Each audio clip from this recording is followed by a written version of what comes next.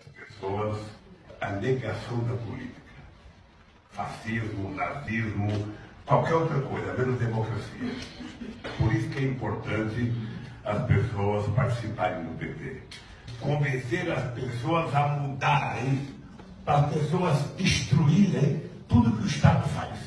O que menos interessa é o país. O Estado Nacional deixa de existir.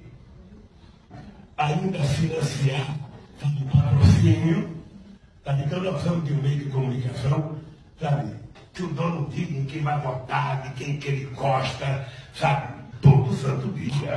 Ou seja, é quase que uma fábrica de vender notícias negativas. O problema não é falta de janta.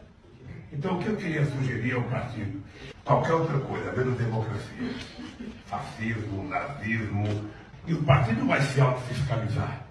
E aí a gente vai poder então voltar para tentar que nós somos do Partido dos Trabalhadores.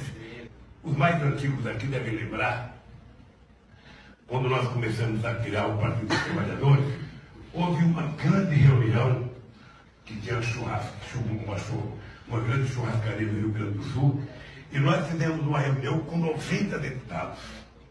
Não sei se o Rio Falcão estava, estava preso ainda em que a gente reuniu um grupo de companheiros, sabe, que depois consolidou a fundação do PT, e dissemos o seguinte, olha, aqui não tem a, a, a fé, a opção religiosa.